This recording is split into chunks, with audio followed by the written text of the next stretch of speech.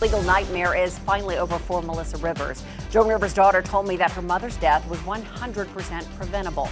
She vowed to get justice, and now Melissa has reached a multi million dollar settlement with the clinic where a simple medical procedure turned tragic, but nothing will ever bring her mother back. How do you contain your anger against the facility and the doctors? I'm working on that.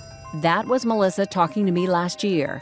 Well, now Melissa says she can finally, quote, put the legal aspects of my mother's death behind me and ensure that those culpable for her death have accepted responsibility. Remember, this was not supposed to be a major procedure.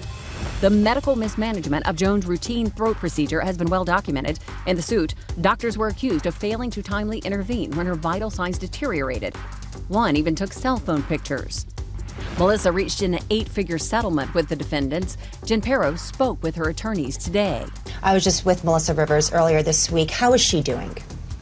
I think she's relieved to a certain extent that the case is, is resolved. But Melissa's son, Cooper, who is in love with his grandmother, he'll never get to see her again. For their part, the clinic which treated Joan released this statement. The parties agreed to settle this case to avoid protracted litigation. We remain committed to providing quality, compassionate health care. And Joan's last words in the OR? We do know that Joan, uh, before uh, she went under, was talking about how she was going to help somebody who had an autistic child. While Melissa wasn't with her mother during the procedure, she was by her side at the end. I was up by her head and I was holding her hand. And Cooper had his hand on her arm. The doctor said, She's gone.